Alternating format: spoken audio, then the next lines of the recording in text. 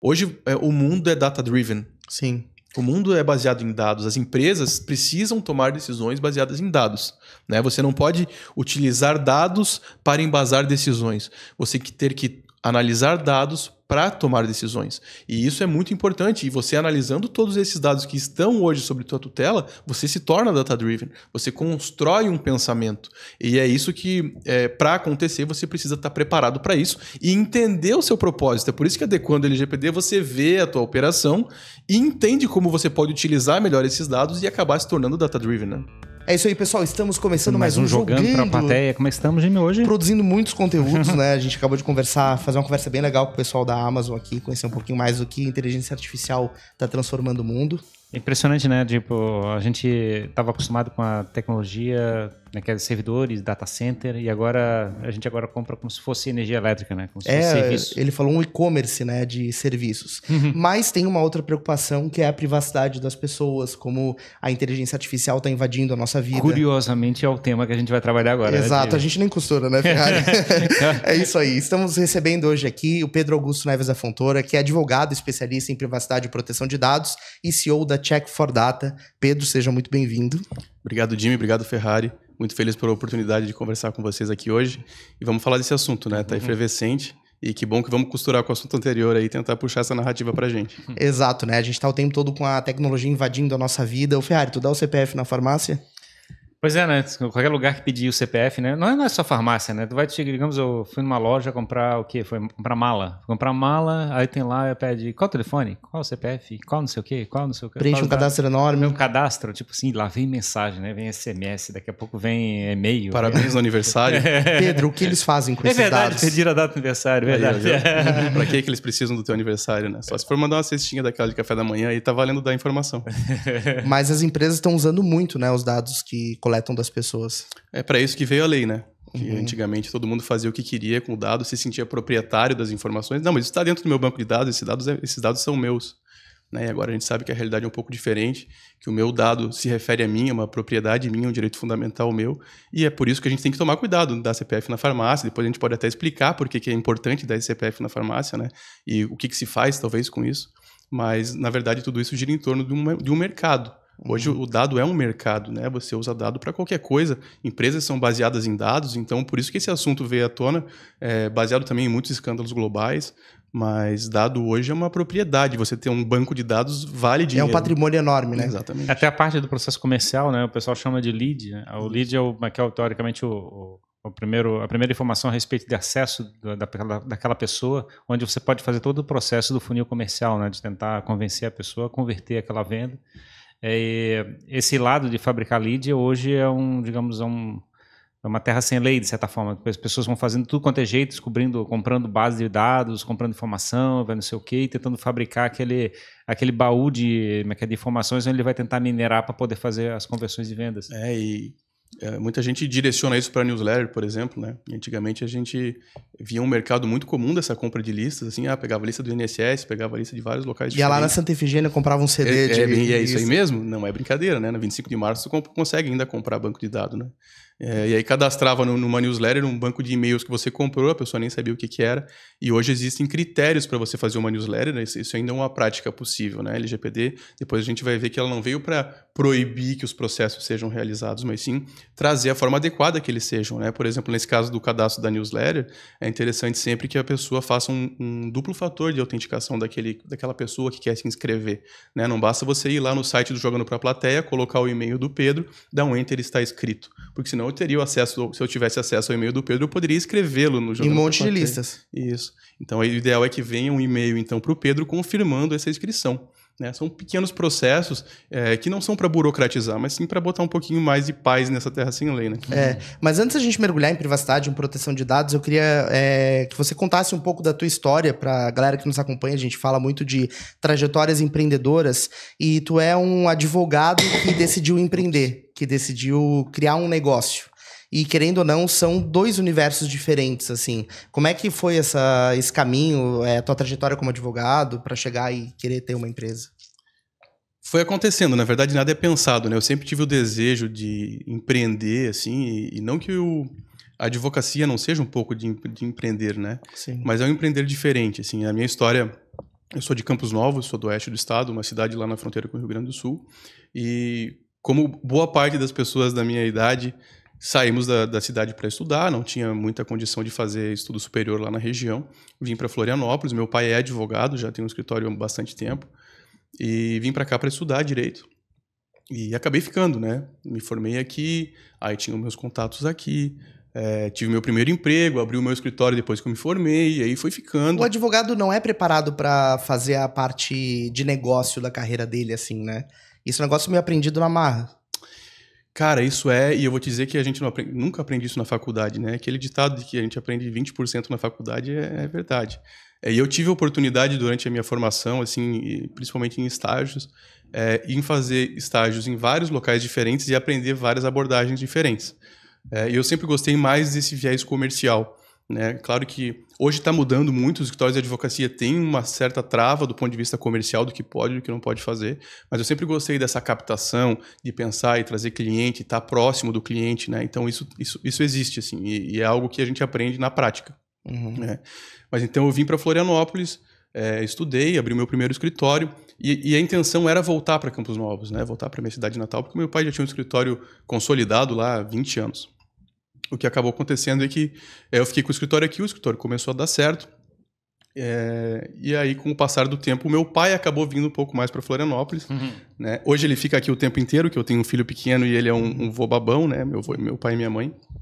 Mas é, ele acabou virando meu sócio no escritório em Florianópolis, né, junto com outros advogados. É, o nosso escritório existe aí há uns 15 anos, mais ou menos, né, o, aqui em Florianópolis, que é o tempo que eu estou formado. E certo dia eu fui estudar lei, porque a minha especialização também é gestão financeira empresarial. É, e eu fui estudar a Lei Geral de Proteção de Dados para poder trazer isso para os meus clientes do âmbito empresarial. Ainda com olhar de advogado, assim. 100%. Né? Na verdade, a gente não perde esse olhar, né? A gente só talvez muda um pouco o enfoque, o prisma. É, e aí eu vi que não tinha como um escritório de advocacia ou como o meu escritório de advocacia prestar aquele serviço. Né? É, era uma lei extremamente complexa, não só do ponto de vista jurídico, né, que ela determina pontos de governança, de segurança da informação, e aí veio a ideia da gente trazer um projeto paralelo, né, fora do meu escritório, onde eu conheci alguns amigos, trouxe alguns amigos, o Jimmy sabe, ele também fez, fez parte dessa, desse caminho, e e a gente fundou a Check for Data. Né? Na verdade, começou assim, uh, um projeto de terças e quartas depois do expediente, né? Montando metodologia, a lei ainda estava engatinhando, não tinha nem uh, a possibilidade de, de, ser, de, ser, cobrada ainda, né? ela estava no que a gente chamava de vacatio legis, né? Vacatio legis, para o pessoal entender, é o período entre a lei ser promulgada e ela começar a valer, é o período para você se preparar para essa lei. Né? E a gente começou a estudar metodologia, criar processo e tal. E a Check for Data começou a caminhar, né? Terças e quartas à noite, a gente virava à noite, veio pandemia e a gente aproveitou para acelerar bastante o processo. Clássica história de startup, né? Exatamente. E, e hoje eu não faço mais parte do escritório em que eu atuava antes. Né? Isso foi até um processo uh, que eu tive fazendo um desmame do escritório, porque eu era administrador, foi a pessoa que sempre teve à frente, né? Então a gente teve que botar as coisas um pouco no lugar. É, mas hoje, inclusive hoje eu saí do último grupo de WhatsApp que eu tava. né? Falei, ó, libertação total, Lei Áurea, Princesa Isabel, muito obrigado, tô liberado dessa, dessa responsabilidade. É, o Ferrari teve a experiência de sair de negócio, assim, imagino que tu sair de algo que tu criou, né, e se dedicou por tanto tempo. É engraçado é... o valor que te dá pro grupo do WhatsApp, né? Tipo, uhum. isso é determinante. Uhum, exato, porque tu se livra dos problemas que chegam ali, das responsabilidades. Tu para de ter acesso aos problemas. e, e, a advocacia é isso que me cansava, sabe? para falar é, sinceramente para vocês. Uh, a advocacia é uma coisa, é uma profissão bastante ingrata. Ela te dá bastante retorno financeiro, ela te dá um aspecto social relevante, né, uma visibilidade, mas ninguém te contrata feliz. Ninguém te contrata com, pra, com sem um problema para ser resolvido. Mais das vezes, os processos demoram muito mais do que o cliente espera, então ele não está feliz na jornada também. E ao final, mesmo que você tenha um sucesso, ele também não está feliz porque demorou demais. Então, isso é uma coisa que me, me afetava pessoalmente, porque eu queria entregar o melhor para o meu cliente, eu queria fazer aquilo acontecer de uma vez, eu queria ganhar eliminar, se eu perdesse eliminar, eu queria recorrer, eu queria fazer tudo o que era possível. E isso acabava me desgastando pessoalmente, porque eu não consigo muito bem separar esse aspecto o, não o pessoal do profissional, mas o profissional me afeta pessoalmente, sabe? São coisas que Leva pra eu casa... não consigo dividir. É. Então, para mim, essa libertação mudou minha qualidade de vida bastante. Assim, hoje, é, principalmente porque como eu chamei amigos para trabalharem comigo na Check for Data, é, essa responsabilidade é completamente diferente. Quando a gente fala em privacidade, não tem esse, esse problema envolvido com a relação. O cliente muitas vezes fica muito feliz quando você presta serviço, vê resultado. Então, graças a Deus, esse caminho aí me trouxe para um mar muito mais tranquilo de ser navegado agora. Legal. A, os, a discussão sobre privacidade, assim, né, e proteção de dados, ela sempre foi algo que a gente tinha pouco acesso, né, de entender o que é esse universo, ou como realmente eu, como pessoa, como a minha privacidade é afetada. Acho que isso era uma coisa difícil da gente enxergar. Mas aos poucos a gente está tendo um pouquinho mais de consciência disso, né? No Brasil, a gente tem essa dificuldade, né? Por exemplo, o Ferrari falou ali, vocês falaram sobre a questão do CPF na farmácia. Nos Estados Unidos, ninguém dá o Social ID. Uhum. Aqui a gente dá porque é um costume, mas a gente não pensa no tamanho do problema. Né? Então a privacidade precisa realmente ser pensado. Ah, é um direito fundamental, é um direito fundamental, mas se você não fizer valer o direito fundamental que te resguarda, não adianta nada. Então a gente precisa saber o quanto, o quanto a privacidade ou a ausência dela impacta no nosso dia a dia. Né? O quanto a gente pode ser manipulado com a nossa privacidade devassada. Então é um assunto apaixonante, sabe? Então isso, isso inclusive me fez caminhar nesse trilho, assim, porque. É muita coisa fica em jogo. Né? A gente não tem ideia. Por exemplo, vamos, vamos entrar no exemplo do CPF da farmácia que a gente conversou até agora e talvez não tenha. A gente possa seja o momento da gente aprofundar. Todo mundo dá o CPF na farmácia. Eu dou o CPF na farmácia. Mas quanto. Por que, que a farmácia muitas vezes me dá um desconto quando eu forneço meu CPF? Né? O pessoal não para para pensar. Você sabe por que, Ferrari? É, é o lead que a gente está falando aqui, né? A oportunidade dela ter um relacionamento a longo prazo contigo. É, isso é uma possibilidade, né? Mas vamos fazer um esforço de imaginação, de que talvez não aconteça no nosso plano, mas pode ser que aconteça em um momento, tá? O Ferrari vai lá e compra um remédio para pressão alta. Todo mês ele compra um remédio para pressão alta. Quanto vale essa informação hoje para uma empresa que vai fazer um seguro de vida para você? Ou vai fazer um plano de saúde para você?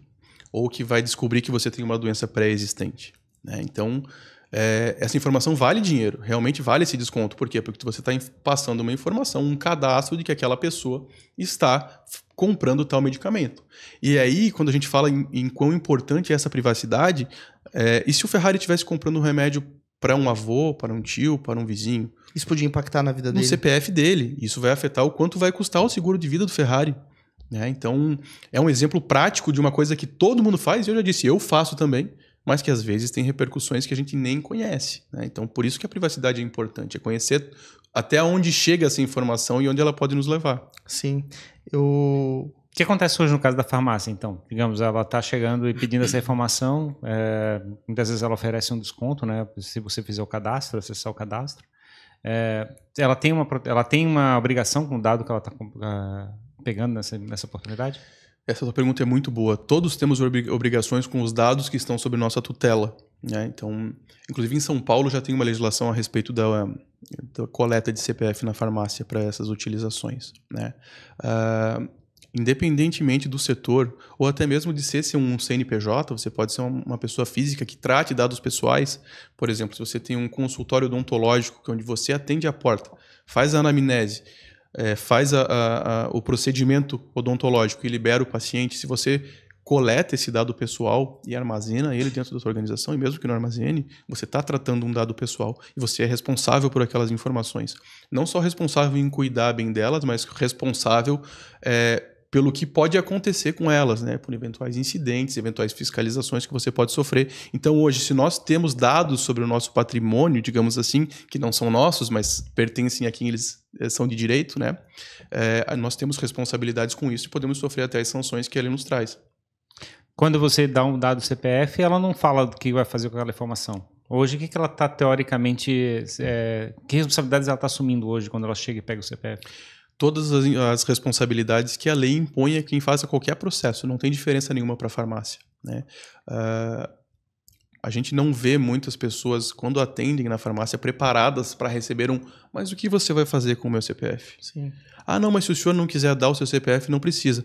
Só que quando você chega na farmácia, muitas vezes você não diz assim. Eles não te dizem, você gostaria de dar o CPF? Não, é digite o CPF. Uhum. E antigamente ela até falha o CPF, né? Eu lembro de ir na farmácia o pessoal perguntar Esse e é um exemplo. gritar, cantar o CPF. Esse é um exemplo. Agora, muitas vezes tem aquele Pinpad. iPadzinho ali, o PinPad, onde você coloca o teu CPF e não precisa dizer, né? E isso é um processo também de privacidade, né? Você pensar na privacidade porque o cara que está na fila atrás sabe o CPF, por exemplo, do Ferrari.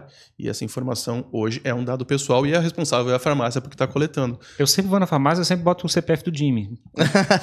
ah, então é por isso que o seguro tá tão caro, Ferrari. Não, mas é engraçado porque, teoricamente, não tem nenhuma garantia que vai usar o CPF correto, né? É, não tem nenhuma, mas eles Sim. coletam de qualquer forma. E vai provocar uns impactos da mesma maneira. Vai. E, e- e, a- e é uma responsabilidade, inclusive, da farmácia que esses dados estejam corretos. Previsto, inclusive, na LGPD essa determinação. né? Então, ela tem que cuidar para que os dados sejam fidedignos. né? É um dos eh, pontos que a gente fica eh, pensando é que tem um- as receitas médicas, né, que teoricamente tem as informações a respeito do médico, tem o CRM do médico, tem a, é que é o, teu, o paciente, tem toda aquela informação, ela chega, tem que arquivar aquela informação, que talvez seja uma informação ainda mais relevante que o próprio CPF. É um dado pessoal sensível, né? A gente, é, entendendo um pouco da, da LGPD, né? Ah, existem a categoria de dados pessoais e dados pessoais sensíveis. Nesse caso, quando tem informação pessoal relevante com, é, com relação à saúde, é um dado pessoal sensível. E esse é um documento que precisa de um critério ainda maior de análise, de cuidado, de segurança da informação, onde você vai armazenar, quem vai manipular. Então, é, os, o, qualquer documento que tenha releva- é, relação com saúde é considerado um dado pessoal, aquilo que está ali dentro. E aí você precisa ter um critério ainda maior com relação àquele documento. Né? Porque, para entender, né, acho que é importante a gente estar falando de dado pessoal, de dados, de Sim. informação, talvez seja importante a gente contextualizar. A lei traz dados pessoais e dados pessoais sensíveis. O que são dados pessoais? Dados pessoais, esses que a gente tem conversado até agora, é nome completo, CPF, o endereço, né? são aqueles dados que a gente mais costuma ver, que são identificados, ou seja, estamos falando aqui do Pedro Augusto Neves da Fontoura, eu sou uma pessoa identificada, ou identificável. Né? E eu sempre brinco, é, quando eu vou fazer alguma palestra, uma capacitação, que identificável é muito fácil da gente decorar o que que é um dado identificável. Né? Vamos fazer uma brincadeira lá. é, eu vou pensar num jogador de futebol. Neymar. Todo mundo fala Neymar. É sempre Neymar, tá? Vou pensar num jogador de futebol. Beleza, é o Neymar. Jogou no Santos. Neymar. Né? Sim, pode assim. Camisa 10 do Santos. Pode ser certo, Neymar. pode ser Neymar. Seleção brasileira. Continua sendo Neymar. Se eu disser que namorou com a Xuxa, você sabe o nome completo? É o Pelé, o Edson Arantes do Nascimento. Isso transforma camisa 10 da seleção brasileira, jogou no Santos e namorou com a Xuxa, em dado pessoal. Só que Edson Arantes do Nascimento não é mais um dado pessoal porque ele faleceu. Sim. né? Mas isso eu ainda continuo usando esse exemplo porque ele é muito bom. Você usa vários é, metadados, informações pequenas, né? Que somadas chegam num dado pessoal. Então isso faz com que jogou no Santos, camisa 10, namorou com a Xuxa, também se tornem dados Então, pessoais. num, num condomínio, a vizinha chata que anda de salto de madrugada, um salto vermelho, sei lá. Uhum. Isso pode ser uma forma de identificar. Pode. A chata do 503 Uhum. é um dado pessoal, porque tu sabe que é a chata mais o 503, associou as duas informações, virou um dado pessoal. E é isso que é um critério que a gente precisa ter cuidado. Então não é só o CPF, só não é só o nome, não é só o endereço, não é só os dados da carteira de habilitação. Né? São informações que podem, somadas, chegar à identificação de uma pessoa natural. A gente falou é, essa questão no, no início, né, de manipulação, de é, direcionar as pessoas. E eu imagino que a privacidade, a gente vê vários é, filmes. Eu lembro de ter visto o filme do Snowden, por exemplo, né, Herói ou que, traidor. é, que fez um escândalo de privacidade enorme, é, de manipulação né, dos Estados Unidos. É, essa manipulação realmente é feita dessa maneira que a gente conspiratoriamente imagina, assim, que tem alguém lá planejando e usando esses dados para direcionar a nossa vida. A capacidade de perfilamento ela é enorme hoje na internet, né? Mas ela tende a diminuir com, com relação ao LGPD. Tu tem visto, vocês devem ter visto, cookie banner em tudo quanto é site. Né? Aquela caixinha onde você aceita cookies, rejeita cookies. É um- uma chatice, na verdade. Eu acho que aquilo é meio pouco prático, mas ela é- ele é importante por quê? Porque antigamente os sites coletavam tudo o que queriam a respeito de quem está utilizando. E, gente, pode coletar muita informação realmente só com acesso a um site, né? Às vezes a gente não tem noção disso. É, hoje você precisa ter o cookie banner ativo para você é, gerenciar as preferências do usuário. O que, que isso quer dizer? O titular, aquele pessoa que o dado se refere, né? Ela tem que, ele tem que escolher se ele quer dar dados para excessivamente daqueles que precisam ser coletados pelo site, não aqueles exclusivamente necessários para o site funcionar, né? Digamos assim, em termos, em termos é, mais, mais leigos, né? Se tem informações de marketing que eram coletados lá do Google Analytics, por exemplo, né? Eu tenho que aceitar esse Google Analytics hoje por padrão. Eles não podem vir já e eu entrar no site já coletar o Google Analytics. Por quê? Porque eu não preciso do Google Analytics para acessar o site. Então, é através desse cookie banner é que a gente entende quais cookies são coletados e aí escolhe aqueles que nos, nos, nos, nos parecem melhor. Então, isso faz com que a capacidade de perfilamento mude, porque a gente tem dado menos informações em sites, tem dado menos informações em outros lugares, mas mesmo assim, uh, o que a gente vê aí em, em, possibilidade de gestão de marketing, entender se o Jimmy pratica corrida, qual o melhor tênis para ele, qual o perfil financeiro do Jimmy para já oferecer um tênis que ele tenha capacidade financeira de correr, se ele prefere uma marca ou outra marca. Então, isso existe hoje, essa capacidade de perfilamento é enorme mesmo até os dispositivos nos escutando, né, Ferrari? Será que o teu celular tá te ouvindo aí? Já aconteceu comigo de falar alguma coisa e aí aconteceu com o Dudu, inclusive. Uma vez, lembra, eu postei uma imagem, na verdade, uma foto da Pimenta Tabasco. Tava com ele lá é, num, num lanche, assim, eu postei e depois começou a aparecer anúncio daquela pimenta. É porque muitos aplicativos podem acessar o rolo da tua câmera, né? uhum. inclusive se o aplicativo estiver fechado. É, aplicativo, celular nos escuta o tempo inteiro. Hoje em dia não temos mais privacidade na prática, assim, é, chance de não estar tá sendo escutado, não estar tá sendo é, olhado, analisado e perfilado o tempo inteiro, né? Uh, tanto que, bom, lembra aqueles joguinhos de celular que tinha para ficar velho? Sim, de mudava a aparência. Tu botava o celular aqui e ficava. Ah. O meu não mudou muito, porque eu já sou quase velho, amigo Nick. Mas Aquilo lá é uma forma de reconhecimento facial, você pode coletar a biometria das pessoas. Ninguém lê termo de uso, né? Sim. Ninguém baixa o aplicativo lá, próximo, próximo, próximo e vamos usar. Né? Mas ele pode ser usado para muita coisa. Na, é, nos metrôs está sendo feito isso aqui no Brasil, né? Você identificar uh, quais são os, os, usuários ali, aquela pessoa que está passando em tempo real pela biometria. E você está coletando através desses aplicativos essas informações. Aqueles outros jogos de é, Fazendinha, não sei, eu não me lembro porque eu não jogava isso, mas esses outros aplicativos que coletam essas informações, alguns deles, se você for ver os termos de uso, é, pode acessar o teu microfone com o aplicativo fechado. Sim. E isso é um risco, né? Sim, porque. E a gente está sendo ouvido o tempo inteiro. Vamos falar dez vezes. Vamos viajar para Paris, vamos viajar para Paris, vamos viajar para Paris. Daqui a pouco o nosso celular vai estar tá apitando com uma promoção de viagem para Paris, que a gente está sendo ouvido.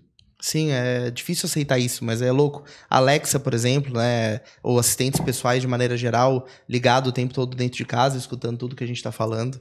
Isso é, é algo que está da nossa vida, mas a gente não está percebendo o impacto que isso pode ter. Mas no caso do, no caso do Cookie, eles já estão, é, é fizeram aquela processo de botar uma notificação com, perguntando se você concorda ou não.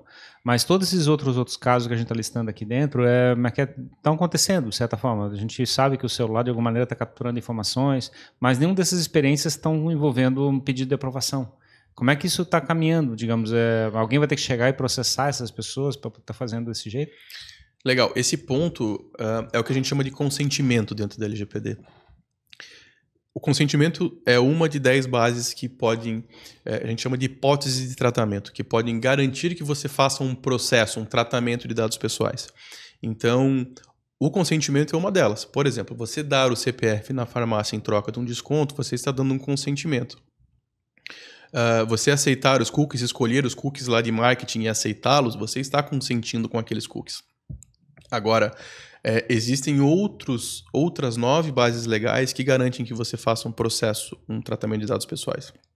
Então, do, dos mais gerais, né, para fins de tutela da saúde, proteção à vida, cumprimento de obrigação legal. Então, por exemplo, é, você precisa perguntar para o Jimmy para tirar uma nota fiscal no nome dele? Não, porque existe uma lei que determina que você precisa tirar essa nota fiscal. Então você não precisa do consentimento do Jimmy em pegar o CPF dele para tirar uma nota fiscal. Então existe uma base legal que garanta isso. O que a gente tem visto hoje no mercado é que uh, processos precisam ser revisitados principalmente em função da LGPD. A LGPD não é a única legislação que fala de privacidade no Brasil, nem a primeira. Existe o Marco Civil da Internet, por exemplo, que já tinha várias regulamentações. Só que a LGPD tem uma abrangência muito maior, inclusive do ponto de vista físico. né? A gente estava falando de papel, aquele arquivo que estava mil anos fechado lá, ninguém acessava. Inclusive, tem uma história boa sobre arquivo, vou aproveitar é. para contar depois. É, então, a LGPD ela faz isso, ela faz com que cada pequeno processo realizado dentro de uma organização seja analisado e visto se existe uma hipótese de tratamento, uma base legal para aquele processo ser realizado. Né? Dentre vários outros critérios que são analisados. Então, é, muitas coisas vão mudar, muitas coisas como os cookie banners vão aparecer, outros processos vão deixar de ser continuados, bases de dados vão ser eliminadas, higienizadas. Então, isso é um processo e está acontecendo. Mas o titular então, vai poder processar? Acho que esse era, esse era o ponto. É, acho né? que era o ponto, é para verificar como é que, digamos, é, tem que acontecer alguma, alguma coisa ruim para chegar e ter uma razão para brigar? O titular tem vários direitos, ele pode requisitar várias informações, né? E, inclusive, perguntar para jogando para a plateia, jogando para a plateia, que dados vocês têm a respeito de mim, por que, que vocês coletaram, com quem que vocês compartilharam, pedir para excluir quando, ele, quando a base legal for o consentimento, né? Então Uh, esse é um processo que o, que o, titular pode realizar. E caso a resposta não seja contento, não venha, não venha no prazo, uh, pode ser realizado um processo fiscalizatório, né? pode ser feita uma denúncia para a Autoridade Nacional de Proteção de Dados, uh, chamada NPD, é, e aconteceu um processo a respeito disso. Não só com relação à NPD, a gente tem visto PROCON cobrando, sindicato cobrando, e o próprio titular pode cobrar, afinal de contas, ele pode entrar em contato com a farmácia e dizer: ó, oh, quais dados meus você tem aí? Por que, que você tem? Não quero mais que você tenha, elimine. É, então, é, pode virar um processo judicial, e isso é a tendência, a gente já tem visto vários processos acontecendo, mas também pode virar processo administrativo. Hum, basicamente é isso, são, são os dois cenários que acontecem. No caso, por exemplo, digamos, a gente está falando aqui, por exemplo, se tu entra num shopping e aí tem uma câmera que está filmando você, é, o que está acontecendo nesse caso? Você está olhando do seu ponto de vista de segurança, é, precisa de autorização, precisa de uma notificação na, na frente da loja? Não, porque tem uma base legal para isso. Né? Então, esse é o processo. É, muito, você precisa, claro, analisar todos os processos de cada uma das empresas para te dar essa resposta. Ah, a hipótese de tratamento vai ser é, prevenção à fraude. Pode ser, né? mas a gente precisa ver na prática o que, que acontece. É, mas é por isso que o consentimento não se aplica para tudo. Não precisa de consentimento para tudo. É, inclusive, na prática, lá na Check for Data, a gente prefere, sempre que possível, que tenha uma opção, você não usar o consentimento. Exatamente porque o, o consentimento pode ser revogado. E às vezes você não pode é, eliminar uma informação, eliminar um documento, porque se você usou consentimento, você tem que eliminar. Então, isso é um pensamento que tem que acontecer dentro de, da cadeia, dentro da esteira daquele, daquele cliente. Uhum. É, e talvez se, a maneira se, também. Se a gente, no caso particular, tem uma câmera lá dentro, ele tem que ter uma razão, por exemplo. Uma razão, por exemplo, pode ser questão de segurança física. É que aí você está dentro da tua própria casa, filmando o teu ambiente interno, então, a, a princípio, não há um problema com relação a isso. A não ser que e isso já aconteceu e, e tem um histórico, uh, a tua câmera filme um pedaço do vizinho, por exemplo. É, a gente atendeu um, um cliente agora em, no, no, oeste do estado que a câmera dos fundos da empresa virada para o estoque pegava a sacada do quarto de um casal. Imagina é só. um problema, né? Claro. E você tem que analisar esse tipo de câmera de segurança também. Né? Senão daqui a pouco tu tá fazendo um conteúdo ali sem saber. Exatamente. Pode vender em outras redes sociais no momento aí que estão OnlyFans, OnlyFans. É. Mas é, esse ponto de da maneira, então basicamente a empresa que trata, que tem um dado, ela tem que ter uma finalidade é, correta para utilizar aquela informação. E, a, e o titular tem que estar tá amparado, tem que estar tá protegido nesse sentido, ó, tô pegando tua informação, tô usando desse jeito e beleza, tá tudo ok. É isso aí. Na verdade, existem 11 princípios da LGPD, tá? Um macro, que é a boa-fé, tudo parte da boa-fé, e outros princípios, como o da finalidade, por exemplo, da transparência, do livre acesso. São princípios que precisam todos eles ser obedecidos para que você possa realizar um tratamento. Mas para não esquecer, Jimmy, desculpa te cortar. A história do arquivo. História do arquivo, que essa história é boa. Uh, uma das primeiras organizações assim de, de, segmentação que buscaram adequação LGPD foi o setor médico. Por quê? Porque os planos de saúde acabaram forçando os hospitais, as clínicas a fazerem adequação. Né? E nós fomos adequar um hospital. Esse hospital uh, era um hospital muito antigo, um hospital municipal, mas bem grande. E quando nós estávamos terminando a adequação, nós, nós descobrimos que tinha uma escada para um segundo andar que ninguém nunca falou que existia um segundo andar, né? Que era um sótão. E aí perguntando assim, aquela última perguntadinha antes de ir embora, assim, com tudo pronto já, o computador na mochila. Uh, o que, que tem no sótão? Ah, o sótão é um setor anterior, eh, do passado, que a gente fechou é, mas continua lá. Mas como assim? Basicamente, eles trancaram lá em 1980 em Guaraná com rolha, sei lá, o, o, a, o acesso ao segundo andar e ninguém nunca mais acessou aquele lugar. A gente falou, tem dado pessoal lá em cima? Tem, tem um arquivo do RH, tem. Porra, tem um monte de documento. Só isso. A gente foi subir e aí o, o pessoal do hospital ainda falou assim: olha, se eu fosse vocês, mandava os mais magrinhos, porque não dá para confiar lá no assoalho. gente do céu, eu fui um dos magrinhos, apesar de não estar tá muito magrinho. Vocês já viram Resident Evil, Silent Hill, ou o, o, banheiro da Murta que geme do Harry Potter?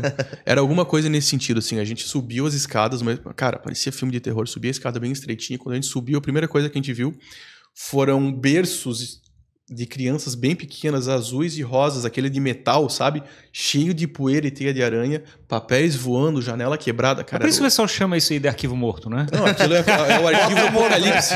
arquivo putre, putrefato. putrefato. É, tinham exumado o corpo já. É, e, cara, tinha um, um arquivo, uma sala cheia de dado pessoal é, com um arquivo de RH, com informação de colaborador, de paciente, e a janela quebrada, chovia dentro, tinha pena de pomba, tinha de tudo lá dentro, assim, era o caos na Terra. E é por isso que é importante que a LGPD fale do documento físico também, né? Porque aquilo ali também tem dado pessoal. É tão importante quanto o documento que está digital, né? Sim, pois é, né? Tem esse, tem esse lado também. Eu fico pensando que hoje talvez o maior desafio que a gente tem, porque o digital as pessoas usam nuvem, usam Google Drive, esse tipo de coisa, mas o arquivo físico, eu lembro como eu perdi a coisa. Perdi a comprovante de pagamento, perdi a conta, perdi a... Vai num lugar qualquer, numa empresa qualquer. Se tem uma impressora geral, todo mundo troca o papel. Vai lá, pega a tua impressão. Ah, essa folha aqui não era minha, Sim. era do fulano. Né? E papel é um problema, por quê? Porque geralmente o, o papel vem de um digital hoje em dia. É, vem de uma impressão, né? ou vem de uma cópia. E ele sempre duplica o risco de você ter um incidente. Por quê? Porque você tem o risco de acontecer um problema com o computador, por exemplo, com o servidor, e o problema de vazar o papel em si. Então, o ideal é a gente até instituir políticas de impressão para que isso não aconteça. Também não se use essas impressões como rascunho, por exemplo, aconteceu agora, hoje, no, na, nas Americanas, não sei se vocês chegaram a ver. Você não viu os americanos não. que eles fizeram um, botaram um, um papel de promoção com, na, na, nas costas de um currículo? Hoje. Usaram o currículo. Usaram um currículo, no verso do currículo, fizeram promoção de tanto por tanto, e alguém foi lá e filmou por trás, assim, tava um currículo, cara. E tem uma história também num, de um hortifruti que usou um currículo para embalar uma, man, uma mão, uma manga, sei lá, e mandou para casa num, de, um, de um cliente. O cliente chegou, desembalou, viu o currículo, postou na rede social, marcou o dono, isso deu um bafafá enorme.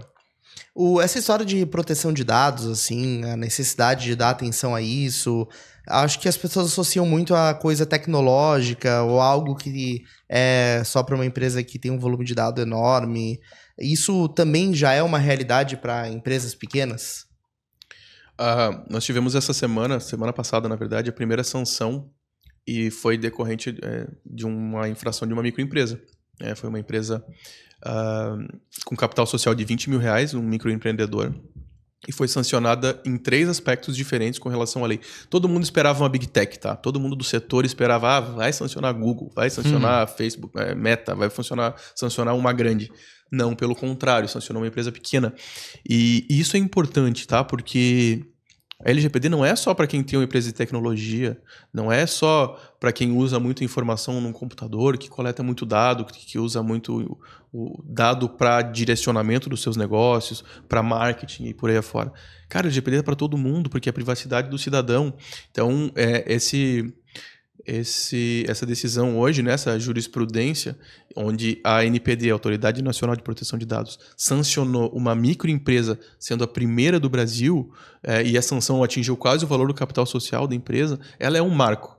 Ela é um marco sobre o ponto de que os holofotes não estão só virados para cima. Né? Todo mundo precisa realizar uma adequação, entender os seus próprios processos e fazer aquilo que a lei determina. O que aconteceu nesse caso particular dessa empresa? Se eu não me engano, é Telecal o nome da empresa, tá, Ferrari? Não tenho certeza, não é, mas, mas é uma empresa de marketing. É, foi uma das primeiras a ser investigadas pela Autoridade Nacional de Proteção de Dados. E ela foi sancionada sobre três aspectos diferentes. Tá? O primeiro foi por ela não ter um DPO nomeado, um encarregado de dados. O DPO é uma definição legal onde é a pessoa responsável por fazer uh, o match, né, a conexão entre a empresa, a Autoridade Nacional de Proteção de Dados, o titular de dados, é um ombudsman, que não falho, um amigo meu, Rodrigo Bertier, ele faz esse meio de campo e ele é o responsável pelo, pela proteção de dados da organização. Você precisa ter isso, salvo algumas exceções. Né? Então, o primeiro caso que a empresa não tinha era isso. Nesse caso, ela recebeu só uma... Uma advertência? Isso, uma advertência. O segundo caso foi por não ter hipótese de tratamento, base legal, isso que a gente tem falado, que o consentimento é uma, a tutela da vida é outra, né? Então, ela não tinha hipótese de tratamento para aquilo que ela tinha feito. Então, para os processos que ela realizava, ela não tinha atribuído uma hipótese, de tratamento. Uh, e, a, e a terceira sanção foi por não ter colaborado com o processo de investigação. Não apresentou informações, não respondeu no prazo. A gente ainda não conhece porque a decisão é muito recente, né? o processo não foi divulgado ainda, mas uh, foi por não ter colaborado durante o processo de investigação em si. Né? Uh, nas, nas duas últimas sanções, as multas foram de R$ 7.200 cada uma. Parece pouco, e eu achei pouco quando eu vi a notícia. Mas considerando o tamanho da empresa, isso é bem relevante. Capital social de 20 mil deu uma multa do, do valor do capital social. A empresa tinha um ou dois colaboradores só. Pelo jeito, o cara ainda mandou a merda, pelo jeito. Isso aí não vai dar em nada, essa lei não vai é, pegar. Sim, ah. Tem muito essa visão, né? Quando a gente fala, olhando como empreendedor, né? Quando a gente fala de lei, é algo sempre chato que burocratiza e vai é mais uma coisa para atrapalhar o empreendedor. É, tem algum aspecto positivo na LGPD, na visão de dados, assim, que é, que não só a questão burocrática? Eu adoro vender LGPD sem falar da multa. Porque a multa que muita gente usa para vender 50 milhões de reais por infração. É verdade, mas ela te dá tanto benefício de você olhar de uma perspectiva, uma perspectiva diferente o teu negócio. Você olhar de cima todos. Que empreendedor olha o seu negócio do começo ao fim? É muito difícil isso acontecer. Porque tu tá pagando incêndio. Cada dia tem um incêndio diferente. Você chega na empresa e na nossa empresa não é diferente. Ah, pô, tem que apagar tal incêndio, tu apagou aquele, já tem outro pipocando. E tu vai apagando os incêndios e os processos que foram criados lá no passado são repetidos e nunca repensados. Isso é um benefício da LGPD, por exemplo. Porque você analisar tudo que você faz em todos os departamentos, do começo ao fim, onde entra a informação, por quem passa, por que, que passa por tanta gente, onde que eu armazeno, por que, que eu armazeno por tanto tempo, é uma coisa que ninguém faz. Eu vou te dar um exemplo também, Jim, que é, nós fizemos a adequação de uma rede de concessionárias da, de uma empresa de marca aí, não, não posso falar marca, né? Uhum. Pode, pode falar. Da Volkswagen, então. É, do Paraná. E a gente entendeu uma especificidade do, do mercado que é quando você compra pesados, ônibus, caminhão, é, eles têm uma característica de que eles compram sempre com a mesma frequência, ou mais ou menos na mesma frequência. É, por exemplo, a empresa tem 20 caminhões. Tá? Ela vende os dois mais antigos, compra dois novos. Daqui a dois anos ela vende os dois mais antigos, compra, um, compra outros dois novos. Uma estratégia comercial. Isso, para não, não defasar a linha, né? É uma não... gestão de frota, né? Exato, gestão de frota, 100%. Essa informação vale dinheiro se você não se atentar a ela, você vai perder duas coisas diferentes. Primeiro, a oportunidade de que daqui a dois anos bater na porta e mostrar, ó, oh, tá aqui a chave do modelo 2023, 2024, trouxe para você experimentar e vamos vender dois para você, né? Marketing comercial e você tá usando o dado do teu próprio cliente que você pode usar para isso, Sim. né? Desde que você tome os cuidados, faça a adequação LGPD do, da forma adequada. E a, e a segunda, o segundo ponto que também é muito importante é que o teu vendedor sabe disso. Ele sabe que daqui a dois anos a transportadora X vai trocar de caminhão. Se ele tiver na, na Scania, se ele tiver na Volvo, ele vai bater na porta e você vai ter um concorrente que você não tinha antes. Então você precisa se cercar de tudo isso, inclusive no contrato desse colaborador, dizendo que é, os dados que ele acessa dentro da empresa são confidenciais, inclusive dos, dos próprios clientes, estratégias comerciais, para que isso não acabe acontecendo, porque hoje é, o mundo é data-driven. Sim. O mundo é baseado em dados. As empresas precisam tomar decisões baseadas em dados.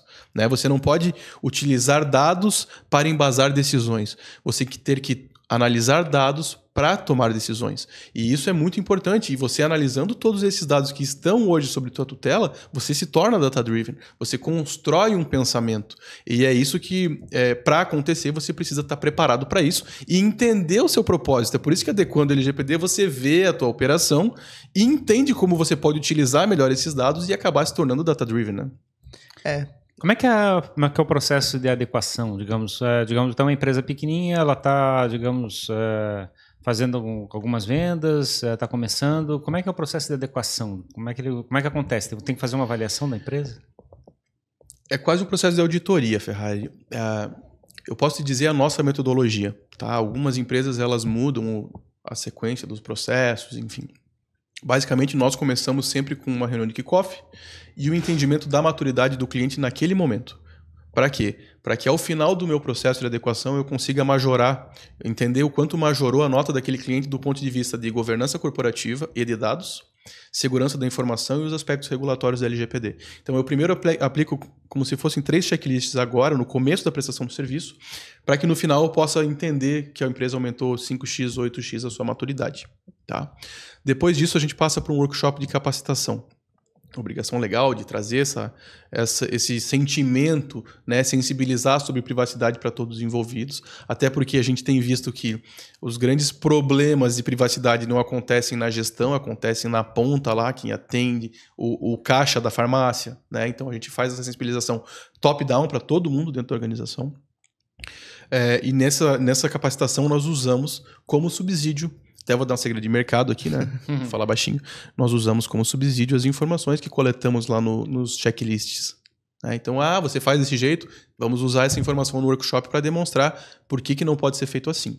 Então a gente dá um workshop e a partir desse momento começa a entender os processos da empresa, a mapear aquilo que ela realiza. Existem várias etapas ali no meio, mas basicamente depois é, nós vamos presencialmente ou online até o cliente, depende se o cliente às vezes é muito home office, não tem sede, então a gente faz isso online, mas no mais das vezes num cliente é, pequeno, médio e grande, a gente faz isso presencialmente para ver na prática o que, que é feito.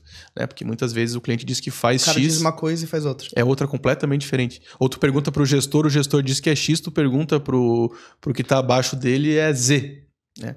Então a gente vai presencialmente e, e, faz um mapeamento de todos esses processos, entende? Desde o começo da, da jornada do cliente, desde o processo seletivo até a contratação, tudo isso vai ser mapeado vai ser analisado o risco de cada uma dessas operações, é, fornecido um diagnóstico para o cliente, onde diz: olha, você faz assim e cada um desses processos tem tais riscos. Esses processos com riscos altos precisam ser mitigados. Sugerimos que você faça assim para mitigá-los.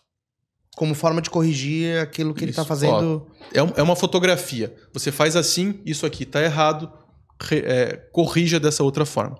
Depois desse diagnóstico, a gente começa a fazer algumas outras alterações, ajuda o cliente a implementar aquilo que foi orientado, analisa contratos, padrões já existentes, cria aditivos, termos de uso, políticas, tudo aquilo que é importante, código de conduta, né? É, se eventualmente existem, a gente analisa, modifica e se não tem, a gente cria aqueles que são necessários. Né? Começa com uma auditoria, um diagnóstico, é, tem um processo de desenvolvimento, maturidade nos profissionais, quer dizer, um processo de, de, treinamento, de capacitação. Uhum. E aí, a partir daí, é feito, então, uma, que é um, uma foto para poder tomar uma decisão estratégica de que ação fazer para subir o nível da Isso. Aí você toma a decisão estratégica, começa a implementar aquela decisão estratégica, né? É, e aí, depois revisa todos os processos para ver todos os processos para ver se não passou nenhum gap, se alguma coisa não passou batida e conclui a jornada de adequação. Existem 16 etapas dentro da nossa jornada de adequação. A gente resumiu aqui de uma forma super resumida mesmo, mas basicamente é isso do começo ao fim que é feito. Depende do cliente. Às vezes o cliente não precisa de uma jornada dessa. Ele pode contratar um GPU as a service, por exemplo, que é uma outra modalidade, né? Contratar como encarregado de dados. E aí, uh, dentro dessa, desse, desse escopo, inserir os processos que precisam ser realizados. Esse, a auditoria normalmente você já faz até uma agenda de fazer esse processo regularmente, né? de chegar e fazer essa avaliação de como é que o estado da empresa está é, em cada um ano, cada dois anos. É, existe algum tipo de rotina desse tipo? No final do nosso, do nossa adequação, com base no, no nicho do cliente, a gente sugere que os processos sejam revisados há tanto tempo. Mas o que tem que ser feito é que cada vez que um processo for alterado, esse processo tem que ser mudado dentro do registro de operação de tratamento de dados. Isso é uma obrigação legal que você tem que deixar lá nominado todos os processos que você faz, como que executa e por aí afora. Então, cada vez que muda um processo ou é criado um processo novo, você precisa inserir tudo isso dentro desse registro. É que você não pode esperar a auditoria, uma próxima auditoria para tentar corrigir. Você precisa ter um processo contínuo de melhoramento do processo. É isso que às vezes é importante você ter um DPO é, interno ou terceirizado para que ele faça essa manutenção. Né? Não, não precise chamar a cada tempo ou a cada mudança de processo um novo processo, uma nova auditoria. Esse responsável, o cara que. o encarregado de dados daquela empresa, ele pode ser alguém daquela própria empresa. É, isso é, ele tem que, ter, tem que ser capacitado para isso? Esse é um cara que vai tomar decisão só de privacidade ou ele vai ajudar também a empresa a ser data-driven? Pode. Ele pode ser interno da empresa desde que ele saiba o que ele está fazendo. Né? Uhum. Né? O que não pode é você pegar uma empresa é, que tem lá um atendente, um auxiliar de estoque, e colocar o auxiliar de estoque, não, não minorando o auxiliar de estoque, mas ele não conhece LGPD. Ele não conhece segurança da informação, não conhece governança corporativa. Ele não pode ser DPO. Né? Ele não pode ser encarregado de dados. Mas você pode ter um DPO interno. Grandes organizações optam por ou ter um DPO interno, que custa um pouco mais caro por ser seletista e é um salário que não é muito barato, ou por contratar uma empresa terceirizada para atuar como DPO. Né? Então, você pode ter um DPO interno desde que ele, desde que ele cumpra é, os requisitos. Né? E com base na, nas tuas outras perguntas. O ideal é que ele tenha autonomia não tenha relação hierárquica com a direção, ele possa dizer, olha, vocês querem fazer assim, mas tá errado. É, esse cara vai brigar muito com o comercial, né? Cara, com, esse, com a galera do lead mesmo, odeia, odeia profissional uhum. de proteção de dados. Pô, mas você vai botar um cookie banner aqui na minha, no meu site, eu vou parar de coletar esses leads, como é que eu vou vender para eles? Aí é uma decisão estratégica, mas o papel do encarregado de dados é dizer: o certo é você fazer assim. A administração que organize o que ela achar melhor, corra o risco que ela quer correr. Né? Ou coletar mais leads e correr o risco, ou coletar menos leads e estar tá adequado. Ou até criar uma, um, de repente, um, imagino que exista um caminho do meio, digamos assim. Ó, Existe. É, vamos criar uma estratégia para coletar isso, mas de uma maneira protegida. É isso aí. É isso que tem que ser feito. Sim, para não, não, não deixar o comercial parar, né? Que não pode parar. E as redes sociais, como é que tá esse lado, digamos? Porque na realidade as redes sociais tem muito de chegar e mapear o que, quem você está conectado. Vocês viram o Threads? Threads? Eu entrei. Eu entrei Entrou, lá. Eu não entrei uhum. ainda, tô, fiquei com preguiça. Mas eu vi que já tava dando dando o que falar. Em... O, o, o Facebook demorou 10 meses para atingir um milhão de usuários. Eles demoraram uma hora. Olha como a gente fornece o nosso dado e está conectado, cara. Isso é surreal. É, imagina, né? Só a base do Instagram que entrou direto. Direto. E a facilidade também de acesso colabora com isso, né? Mas um, ele é uma das redes sociais, inclusive, eu, eu vi uma notícia, ainda não consegui confirmar a veracidade, que a Autoridade Nacional de Proteção de Dados Pessoais está é, fiscalizando já eles. Porque a coleta de informações é absurda. Até dados fitness eles coletam do, do usuário. Né? Então estão dentro daqueles princípios que a gente falou, né? Tem necessidade de, de você coletar tanta informação, você vai usar. É, tem um exemplo de, do princípio da necessidade que eu adoro. Eu fui fazer uma operação, inclusive vou citar o nome do hospital, porque eles precisam refazer a adequação de GPD. hospital Samaritano de São Paulo. Fui fazer uma cirurgia robótica de complexidade relativamente alta lá. E quando eu entrei no hospital, tinha uma plaquinha na parede assim: fique tranquilo, nós estamos adequados à LGPD. Eu, como profissional de adequação, né, de privacidade e proteção de dados, pensei, pô, que bom, né? Estou fornecendo o meu dado com segurança. O que, que acontece? É, quando eu cheguei para fazer o cadastro, né, para dar entrada para fazer a cirurgia, uh, dentre várias perguntas, a pessoa me perguntou a minha religião. A religião ela está dentro do rol de dados pessoais sensíveis, aqueles que podem trazer algum tipo de constrangimento ao titular, né? É, filiação a sindicato, organização religiosa, é, política, dados de cor, de raça, de preferência sexual. Então, são informações sensíveis e religião é uma informação sensível. Pô, por que, que o hospital coleta a minha religião? Na verdade, eu sabia a resposta, porque como a gente faz muita organização de saúde, cara, parece que alguém um dia criou um formulário e, e passou cola para todos os outros hospitais, porque todos os hospitais, boa parte dos hospitais perguntam a religião. E no fundo, o que o hospital quer saber é o quê? Se a pessoa é ou não, por exemplo, testemunha de Jeová. Se ela pode ou se ela pode ou quer coletar, é, aceitar doação de sangue ou transplante de órgãos. Mas essa é a pergunta que tem que ser feita, a religião da pessoa. O que, que você quer saber de informação? Ah, eu quero saber se ele aceita transfusão de sangue e transplante de órgãos. Pergunta, pomba. Uhum. Exatamente. Não tira, isso. não faz uma pergunta para depois, com base na resposta, você fazer um, um trabalho de, de Até porque a pessoa pode ser é, testemunha de Jeová, por exemplo, e aceitar a transfusão de sangue na hora. Imagina, o cara tá lá numa emergência, não tem transfusão, porque. Não, não, você disse que era tal religião. Não, mas eu quero. Não, mas você tem religião, eu não vou te dar o sangue. Sim. né? E então, esse, esse também vai contra um dos princípios da LGPD.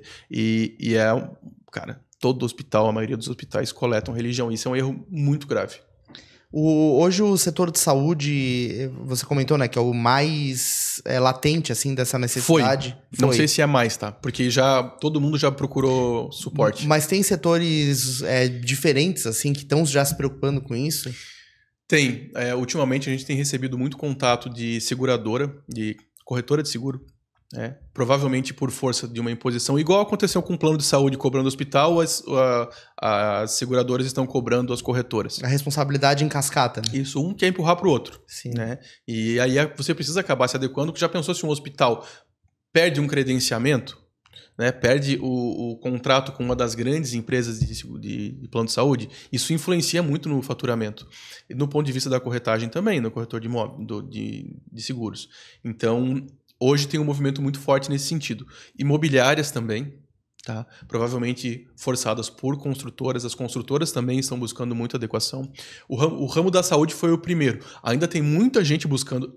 Ainda tem muita gente que nunca ouviu falar de LGPD no setor da saúde. Né? Por isso que é legal o LGPD, é um oceano azul. Ninguém, muita gente tem uma necessidade enorme de adequação e nunca ouviu falar na lei. Só chega, só descobre na hora que aperta a O calça. calo aperta. né? É. Então, é, tem vários setores que costumam buscar, assim. O, a gente estava fazendo um papo anterior ali com, com o pessoal da Amazon, né? Falando muito de ferramenta, de tecnologia, de servidor. E até o Ferrari falou no início da conversa que é, a história de você consumir como serviço, né? Um e-commerce de serviços é, de plataforma. E a gente falou sobre a necessidade de saber como usar isso do jeito certo, né? Ter um grau de governança. Só que às vezes quando eu, é, a gente ouve a palavra governança, está muito distante de uma empresa pequena. Mas não é realidade, né? É, eu queria te ouvir sobre isso, assim, a governança é algo que uma pessoa pode fazer, mesmo que seja uma empresa com duas pessoas. Ferrari, se você for me visitar e tiver todos os sapatos do lado de fora da minha porta, o que, que você vai fazer quando entrar? Tem, tirar o sapato, óbvio, né? Isso é governança numa casa. Uhum. Se tem governança numa casa, tem que ter numa pequena empresa. Né? Ah, quando você vai visitar um parque industrial, uma usina hidrelétrica, todos os carros estão virados para a porta. Isso é governança. Você vai chegar e ver todos os carros estacionados de ré, você vai estacionar de ré. E é um processo que acaba se tornando orgânico. A gente pensa que governança é engessar. Governança é criar processo. Na verdade, também é. Mas é você.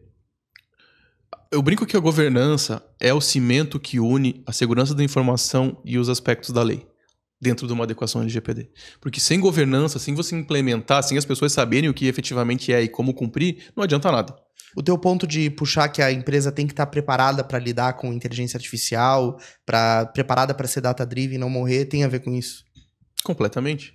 Se, se ela não sabe o que faz, se ela não se organiza, ela não está preparada. Para ser data-driven, ela tem que ser uma empresa preparada para isso, tem que entender os dados que tem, porque você tem que se embasar em dados para tomar decisões. Se você tem os dados de qualquer jeito, qualquer dado, sem uma fidedignidade lá, se, por exemplo, dava o CPF na farmácia CPF errado, você está usando um dado errado para tomar uma decisão. É por isso que você tem que estar pronto para adequado, adequado LGPD, para depois começar a utilizar isso como instrumento para crescer. E os casos, digamos, que tem muito má fé, assim, muito evidente, assim. A gente estava falando É, isso é numa importante. conversa, é, como é que é, uma suspeita que o pessoal tem que os, os médicos é, recebem é, prêmios pelo fato de estar indicando remédios, por exemplo. Ou você pega um caso de, como é que é, de Prótese, órtese direto. Isso. É, digamos assim, está evidente que tem algum tipo de, como é que é, de cruzamento de informação, Esquema por trás. algum esquema por trás, alguma coisa assim. E como é que é, quem, quem é que tem que limpar essa sujeira? Que, como é que é, se existe esse negócio? Alguém vai ter que fazer uma denúncia? Como é que funciona isso? O ideal é entender de onde essa informação nasceu. Quem, como se sabe que aquele profissional está fornecendo tantos medicamentos, tantas receitas ou tantas né, solicitações de próteses e órteses? A gente precisa entender de onde esse dado vem, falando do ponto de vista de dado pessoal. tá? Porque outra coisa é responsabilidade civil do profissional que está indicando um produto que às vezes nem precisa ser indicado, né? E a gente já viu matérias aí até em Fantástico, em vários lugares Sim. onde isso acontece, tá? A empresa gira muito dinheiro através disso, né? E o tem gente que ganha presente, ganha viagem, ganha um monte de coisa. Mas o que a gente tem que entender, Ferrari, é que uh, dentro desse processo tem que ver quem que, em qual momento que isso foi compartilhado do ponto de vista da LGPD, né? Onde que eu, eu brinco que compartilhamento não é eu mandar uma coisa para você. O compartilhamento é compartilhar uma poça d'água. Eu tomo do lado de cá, o Jimmy você toma do lado de lá. Todos compartilhamos a, mesmo, a mesma poça d'água. Né? Não é eu tomar no meu copo e aí depois passar para o Jimmy, porque ele está tomando sozinho no copo. E tem que ver quem está compartilhando essas informações e aí tomar as providências. De qualquer sentido, né? É... A primeira providência que pode ser tomado é a notificação, né, criar esse procedimento é, fiscalizatório dentro da Autoridade de Proteção de Dados. Mas então, um hospital, por exemplo, pode criar um instrumento para verificar a conduta dos próprios médicos através de uma adequação LGPD. É governança o nome disso. E descobrir que o médico tá lá, ah, esse cara tá ganhando bola porque tá indicando tal... Dentro do código de conduta, ele tem que prever o que tem que ser feito, o que não pode ser feito, o que vai ser feito em caso daquilo não ser feito. Então, isso é governança, é isso que tem que ser criado. Né? É claro que a gente vive no Brasil e sabe que jeitinho tem para tudo, hum. mas a gente precisa se resguardar até para resguardar a responsabilidade daquele, daquela pessoa jurídica, daquela organização, é, com relação àquele procedimento que acontece dentro da, da sua sede, do seu patrimônio. Né? No caso, você está, digamos, é, você participa do processo, digamos, digamos seu, sua formação de lead. Tá? A gente está falando aqui, por exemplo, da, é é da, de um funcionário da TIM pegar uma base de dados da Vivo e começar a fazer vendas. É, acontece um monte, né? É um caso, por exemplo. É, digamos, a informação que está sendo transitada é sua informação, você não tem, nem tem consciência que isso está acontecendo. Você uhum. nem sabe que, é que teve alguma que é um tratamento errado dessa informação e você está submetido a essa situação. É, você tem algum papel nesse processo para tentar limpar essa situação? Eu, no ponto de vista de empresa ou eu, eu como, como afetado? Eu como afetado, eu como cliente. Eu tenho um texto padrão que eu encaminho para todo mundo, não a paulada. Quero saber de onde é que veio a minha informação, com quem você compartilhou, qual foi a base legal utilizada, por quanto tempo você armazena. Então, eu tenho uma mensagem. Esse contato geralmente vem pelo WhatsApp. É. Né? eu exemplo. tenho a mensagem, eu copio e colo direto na mensagem e peço para que em 15 dias seja informado a respeito daquilo. Você pode chegar e pedir ó, literalmente para a pessoa que fez o negócio. Claro, da onde, isso... onde você conseguiu meu telefone? Como é que você sabe meu nome? E te dou 15 dias para responder? É isso aí. Isso é um direito do titular de dados.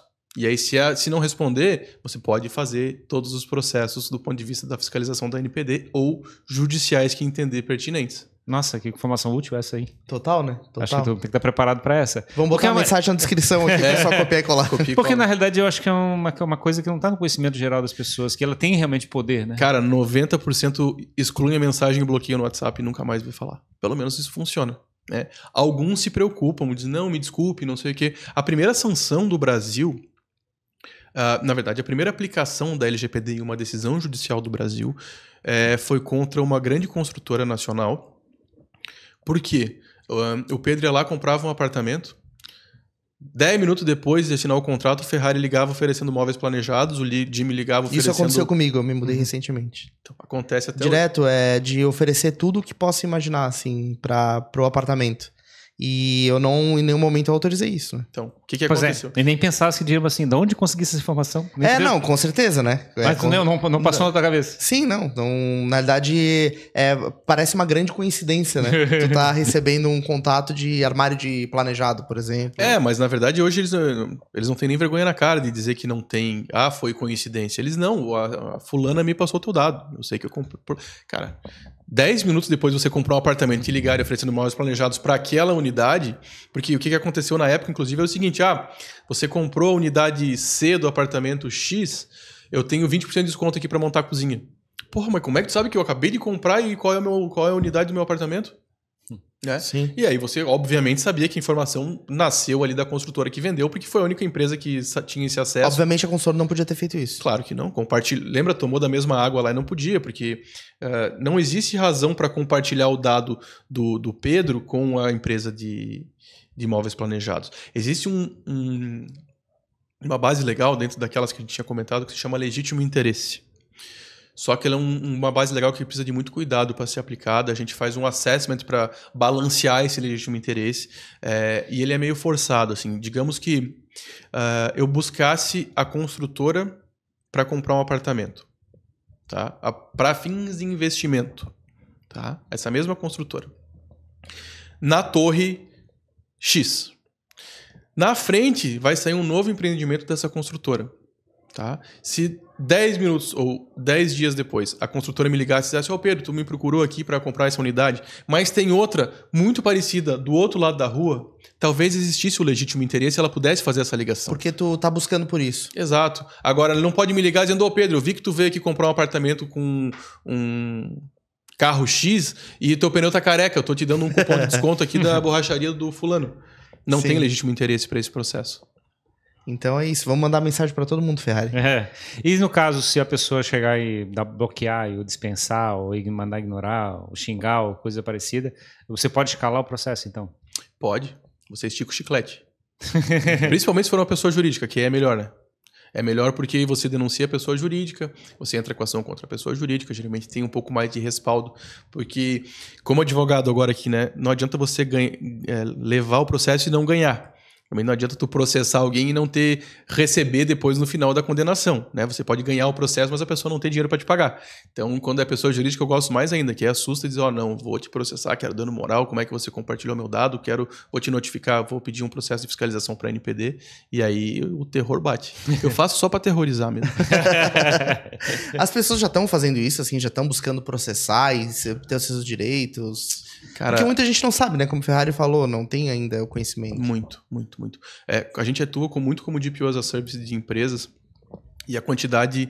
Uh, se a gente estivesse fazendo um gráfico da quantidade de pessoas que se entram em contato para fazer algum tipo de requisição, aquilo que a gente falou, né, que dados mesmo você tem, como tem e tal, ele é um gráfico que cresce numa exponencial enorme, assim, uma progressão geométrica. Muita gente está descobrindo isso é, e acessando essas informações e é, com o passar do tempo, isso vai chegar em todo mundo. Né? Esse, esse é um outro eixo, né? Digamos, se você perguntar, você está desconfiado que o teu dado está sendo maltratado, né? Assim, está tratado, tratado de forma errada. Uhum. Aí você está brigando com a pessoa. Mas é, sem necessidade de ter alguma coisa de má fé, ou, ou, simplesmente se você quer ser informado, você pode pedir para uma empresa informações a respeito do que você tem guardado naquela empresa. Mesmo que você não peça para eliminar, mesmo que você não questione, você pode só saber. Ah, eu quero saber aí, acessar o meu dado, o que que tu tem? Ah, eu tenho teu nome, teu CPF, teu endereço, teu... Isso é uma tarefa que a pessoa, a empresa é obrigada a oferecer sem custo. Sim, de forma facilitada e geralmente quem tem essa, essa necessidade de resposta é o encarregado de dados, por isso que é importante que toda organização tenha esse encarregado de dados, mas isso tem que ser sem custo e de uma forma facilitada, né? Esse, a gente chama de canal de contato do titular. É através dele que se faz esse tipo de requisição. Para a pessoa que quer fazer esse tipo de solicitação também, quando não tem isso no site, é importante é, dar essa dica, dá uma olhadinha nas políticas da empresa, que às vezes tem lá dentro da política, se for uma empresa mais ou menos, pelo menos, é, o nome do encarregado de dados e o e-mail. Aí, através desse contato é que você vai escapar do saque, daquele mutirão de e-mails que aquela empresa vem, porque aí tu já encaminha diretamente para o responsável e começa a contar o prazo dos 15 dias para eles responderem. Eles têm 15 dias, então, para responder são Isso, salvo exceções, né, como uh, órgãos públicos e tal, são 15 dias. E aí você pode requisitar, inclusive, a exclusão? Pode, desde que o tratamento de dados esteja com. Puta, isso é chato para falar para quem está nos assistindo, mas é, Deixa eu tentar tirar isso do, do juridiquês, tá? Lembra que tem 10 bases legais? Uhum. Só com base no consentimento você pode eliminar. Entendi. Então, por isso que o consentimento não é muito legal, assim. É claro que às vezes ele é necessário, mas se eu dei o consentimento, em qualquer momento eu posso tirar. Então, se a, pessoa, se a pessoa tem o meu dado lá e eu dei função do consentimento, ela é obrigada a eliminar. Agora, por exemplo, eu tenho um contrato com jogando para a plateia, tá? E que eu tinha que te pagar 100 mil por mês. Vamos fazer esse contrato aí. Já não vou pagar, era esse o exemplo, tá? Eu não ia pagar de qualquer jeito. Uh, então, vamos lá, assinei o contrato. Antes de vencer a primeira parcela, eu faço o meu direito de acesso e digo, Ferrari, eu tenho o direito aí de pedir para que você elimine os documentos com o meu nome. Tu vai eliminar? Não. Não é o consentimento que embasou. Você tem uh, uma base legal por trás de fazer aquele processo. Né? Então, você está cumprindo um contrato, essa é uma base legal, vou manter esse contrato, não vou excluir esse dado.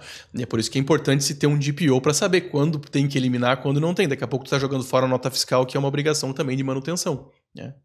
Então, se chegar numa loja hoje, que, digamos, eu comprei uma mala, botei um monte de dados lá, CPF, data de nascimento, coisa assim. Eu posso... Os caras estão te ligando. É, que é, eles têm base legal para ficar com meus dados de CPF por causa da nota fiscal. Mas a data de aniversário e coisa assim, eles não têm base legal para ficar eu preciso fazer a adequação LGPD da, da empresa para te responder. Mas, no maioria das vezes, sim. Tu poderia eliminar o que eles não utilizavam. Uhum. Na verdade, eles não, não deveriam nem ter coletado o que eles não precisavam. Uhum. Mas se você passa, de certa forma, está concedendo uma certa hum, concessão?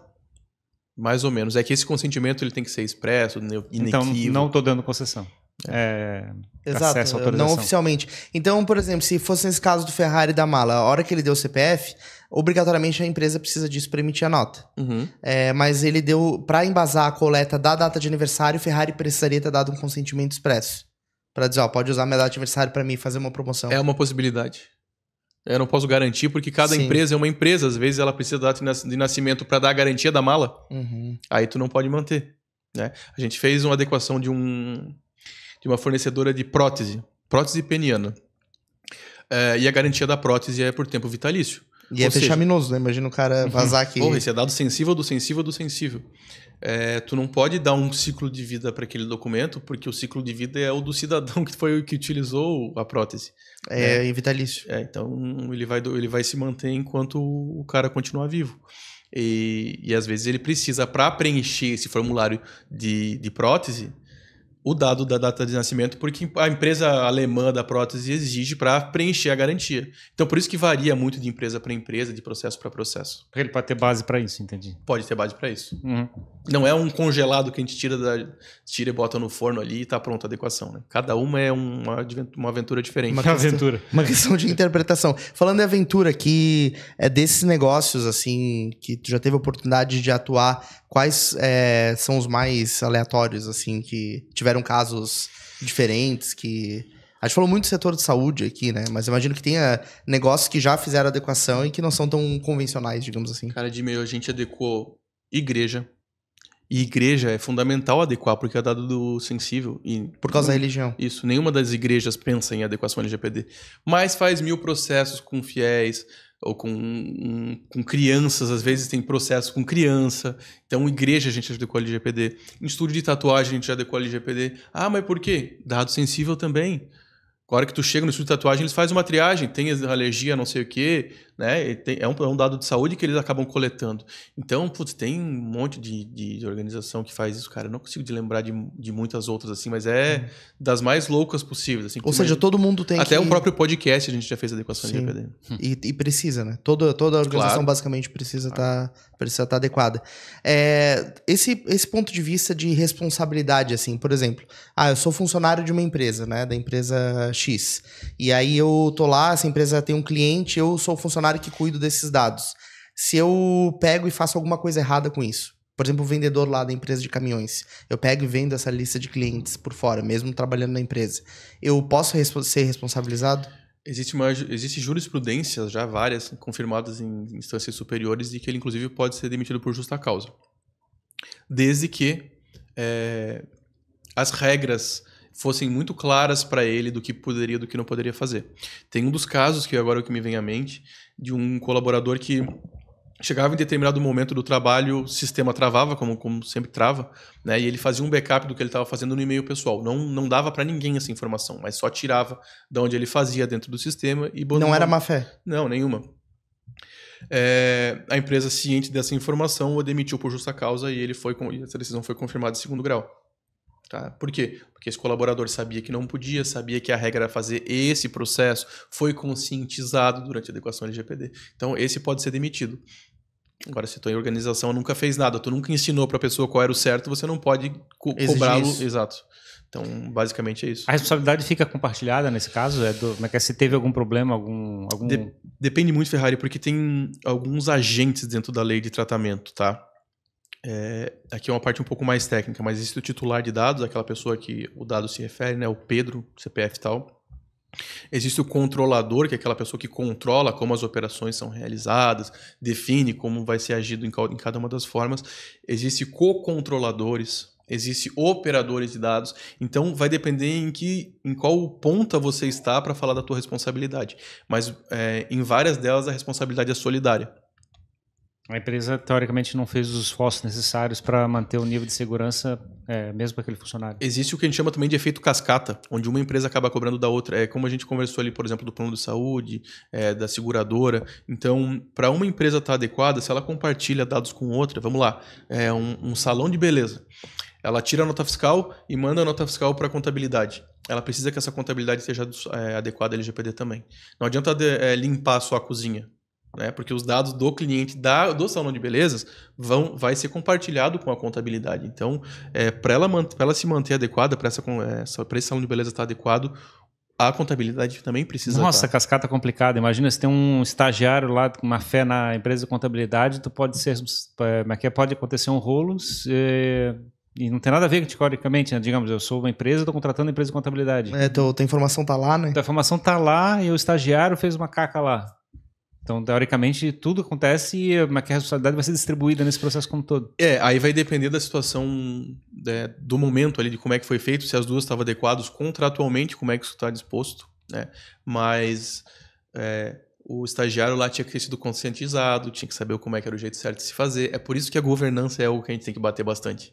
Né? Porque o. Cara, os incidentes acontecem, não é um cara do Irã lá de touca preta, um hacker que vai invadir um banco de dados. Até acontece nesse sentido. Mas a maioria deles se dá por descuido, por inocência. A gente tem um caso de um. De um depois ele foi nosso cliente, né? Mas é, aconteceu isso antes dele virar nosso cliente, que o colaborador bateu uma foto da decoração de carnaval e num pedaço do computador aparecia e tinha os dados de um procedimento médico que ia ser realizado. Então tinha um pedaço hum. da tela com um nome, o um procedimento médico e uma máscara de carnaval e uma decoração de carnaval atrás. Isso é um incidente de dados. Hum. É, e isso não foi. O cara um não tirou foto do monitor, ele tirou da máscara. Isso, e pegou o monitor atrás. Uh, outro incidente que a gente viu, fomos dar uma palestra em Itajaí.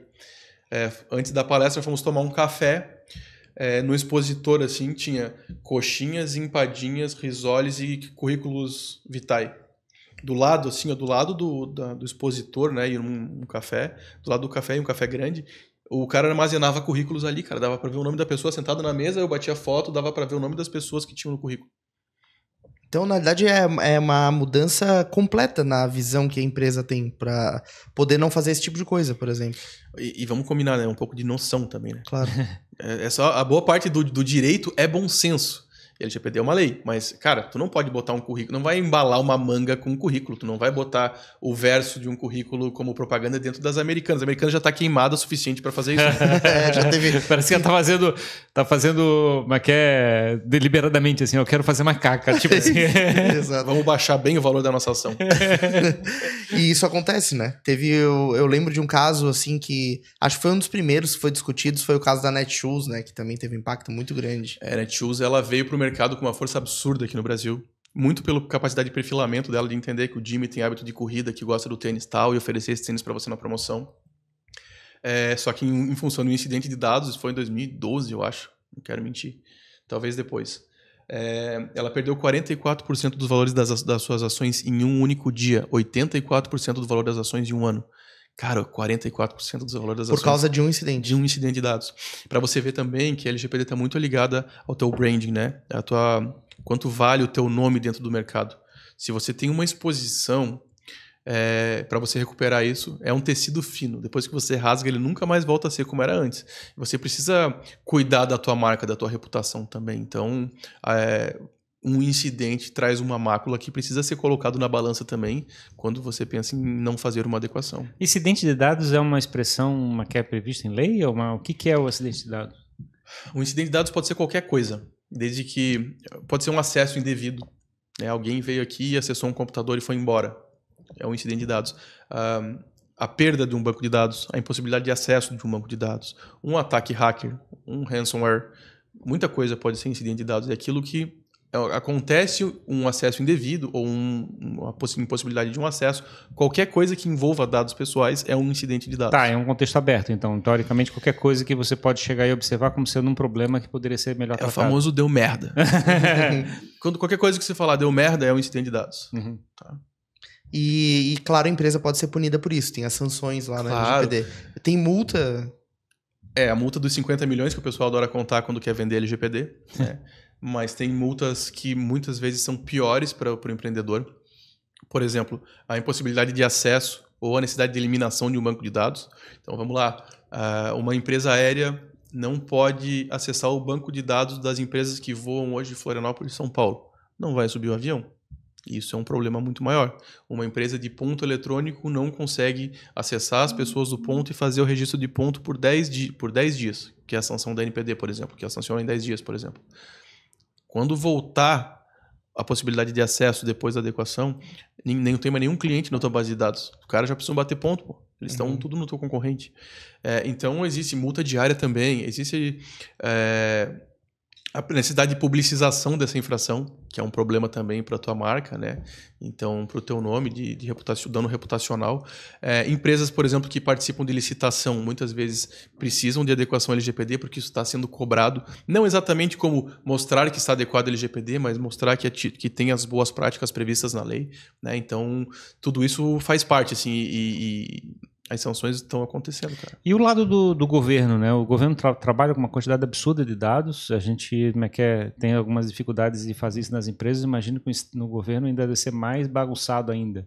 É, como é que a gente está na ponto de vista de segurança da nossa informação? É, vários municípios já fizeram adequação. Vários nem sabem que precisam fazer. Alguns fazem por setor, começa pelo hospital, depois faz a Câmara de Vereadores, depois faz, né? Mas engatinhando ainda. Engatinhando. Mas a, a lei dentro, vale igual? Vale igual. Dentro dos processos de. Eu corro o risco de falar uma bobagem aqui, tá? Do número eu não tenho certeza. Mas dentro dos processos de fiscalização, é, oito são com o setor público já. Tá muito parado, tá, tá atrasadíssimo.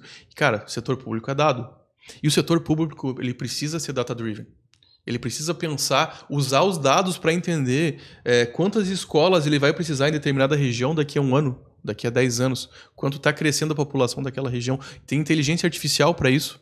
Né? Já, tem, é, já tem gente vendendo inteligência artificial para municípios para analisar os seus próprios dados e poder tomar uma decisão estratégica de investir é, em escola no setor tal, em escola no outro setor tal. A saúde precisa de mais cuidado aqui, precisa de mais cuidado lá, está demorando mais o atendimento aqui do que lá. E para isso precisa estar adequado, você tem que saber o que fazer com o teu dado, você precisa ter uma base de dado confiável. Então, Data-driven também é, é, é, público, adequação LGPD também é para o setor público. É, então o setor é engraçado porque a lei é do setor público, então o próprio setor público tem que se atentar e se adequar a ela, né? É tem que uma... fazer a lição de casa, né? Tem que uhum. fazer a lição de casa. Desafio. É, quanto tempo assim uma empresa demora para se adequar? É uma coisa rápida? É uma coisa demorada? Depende. Porque você cliente. falou que são 16 16 passos, é, é, depende muito do cliente, porque uh, é um processo muito de consultoria também. Então, eu mando uma demanda, essa demanda volta, eu analiso, mando outra, essa demanda volta. É, geralmente, a gente perde 6 a 12 meses para uma pequena empresa. Não existe adequação com, é, com picola. Né? Uh, existem ferramentas que te fazem deixar um pouco mais adequado, uh, softwares existem, mas não, não é de verdade. O negócio de verdade tem que demorar de 6 a 12 meses para fazer toda a capacitação bonitinha, entender todos os processos, todos os fluxos, analisar todos os riscos, todos os frameworks de segurança da informação. Então, é, é isso que a gente geralmente pede para uma empresa pequena e média. De tempo para fazer. Legal. E eu queria, enfim, voltar para a tua visão pessoal, assim, de ter saído da advocacia, ter aberto uma empresa. É, como é que tu se vê hoje, assim, no momento que tu tá de vida? Tu Tu tá mais ou menos estressado? Ah, estressado você até morrer, eu acho. uh, minha mulher que fala, mas você tem que se estressar menos. Eu falei, é que nem dizer para um depressivo não se deprimir. eu não consigo. Uhum. Mas a minha qualidade de vida melhorou muito. É, teve uma história de como eu fui, quando eu fui sair do meu escritório. Até poucas pessoas sabem disso.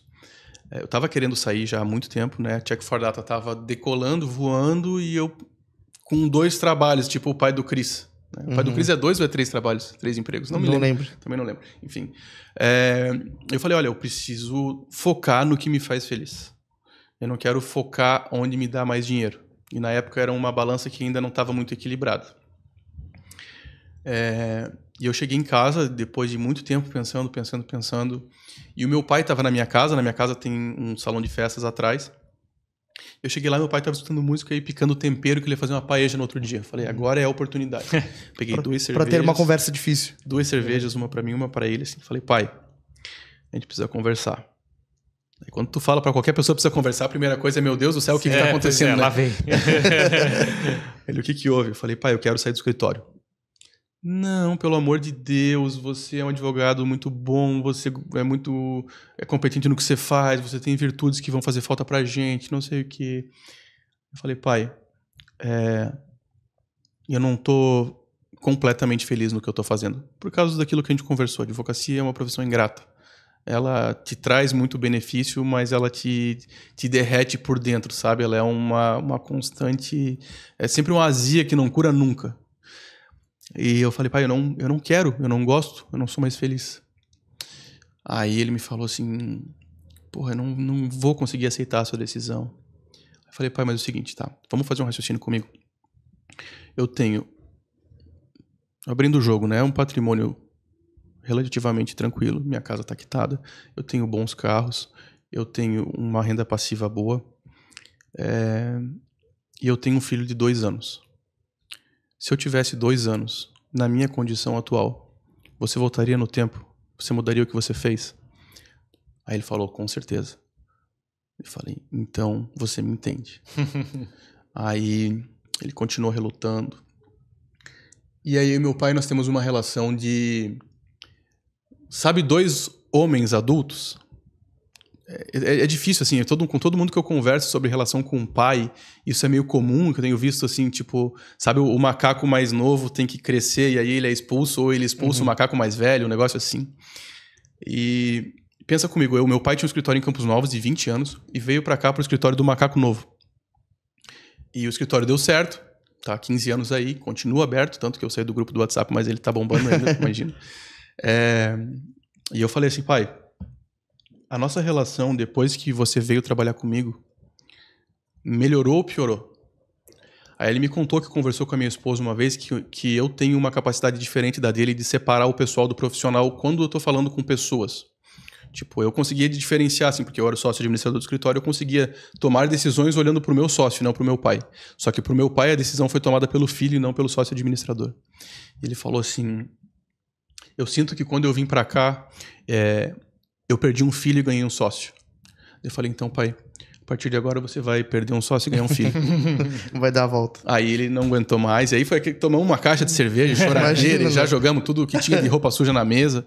Mas basicamente foi esse o momento em que a minha chave virou, que eu consegui é, acelerar 100% a empresa, focar 100% no que eu queria fazer. Hoje eu sou muito mais feliz fazendo o que eu faço, porque eu faço com gosto. Não que eu não gostasse da advocacia, mas eu já não aguentava mais ela. Uhum. Então, é, se reinventar é fun... Cara, eu tô apaixonado por abrir empresa agora. cara, empreender é uma delícia. A Ferrari manja muito disso, né? Mas não é fácil. Não é fácil. Não, é fácil. Não, não, é, é fácil. fácil. Mas se eu pudesse criar, deixar ela prontinha, assim, entregar para alguém e passar para o próximo brinquedo, parece Sim. videogame, né? Sim, é, é apaixonante. E poder ajudar as pessoas, né, na realidade. Porque, no final das contas, uma empresa é um, é um lado de construir um time, construir pessoas, construir uma equipe, é, experimentar uma que é um mar diferente, né? Testar uma mar diferente. E empresas são pessoas, né, Ferrari? É. Empresas são pessoas. Não existe um CNPJ vivo. Tu é. não pode ligar para um CNPJ. Então, esse é um processo que é sensacional, assim, que eu me apaixonei. Tem hábitos que tu mantém, assim, na tua vida, que tu que te fazem bem, te fazem ter uma performance legal. É, também pessoas que tu olha e fala, cara, isso, essa pessoa me ajuda a me guiar, me inspira nesse ou naquele aspecto. Eu sei que vocês gostam muito de falar de hábito, eu estava preocupado com essa resposta. Que aí a minha irmã é médica, minha esposa é médica, e todo mundo vai me, vai me criticar porque eu não tenho hábitos saudáveis.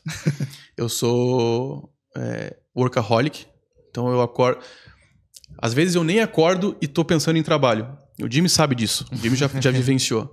Às vezes eu durmo e três horas da manhã eu acordo com uma ideia assim, falo, caraca, eu preciso mandar algum lugar, aí eu mando na primeira pessoa que tem no WhatsApp para não esquecer e no outro dia voltar a pensar naquilo e ver se fazia sentido.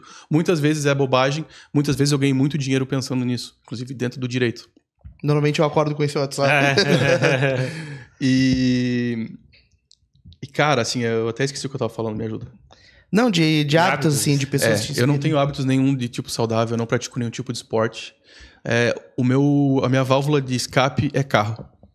Eu gosto de carro, eu amo carro, o carro faz parte de mim, eu faço parte do carro, onde eu gasto boa parte do meu dinheiro, minha mulher não sabe, sempre minto pra ela que é menos, mas ela, ela mente com roupa e eu minto com carro, e ela finge que é verdade e eu finge que acredito, e assim a gente segue, sabe?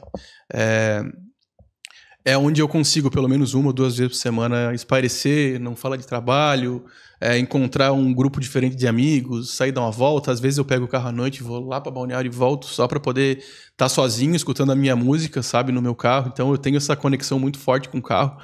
É, e muito da minha vida hoje é muito louco isso. Ela nasceu por causa de carro. Sim. A minha primeira rede de amigos quando eu vim morar em Florianópolis, pô, não conhecia ninguém, não tinha um tostão, né? Lembra da época do Vale um Convite? Eu entrava Sim. no Vale um Convite lá, ficava acertando as respostinhas para ganhar no quiz o direito de ir na baladinha mais próxima, porque eu não tinha dinheiro pro ônibus. É, E aí, os amigos que eu tinha eram amigos das redes de carro. Meus primeiros sócios no meu primeiro escritório foram amigos dos carros. Então, Carro sempre foi uma ferramenta de networking. né? Cara, e é, fundamen- é fundamental isso, tá? Fundamental. Eu faço parte de alguns grupos de carro hoje. é, e o quanto isso agrega para a pessoa, só quem tá lá dentro sabe, porque não parece verdade. Mas lá você tá dentro do mesmo grupo, do mesmo time de pessoas é, que gostam da mesma coisa que você, que têm hábitos parecidos com o seu e que às vezes têm questões complementares à sua.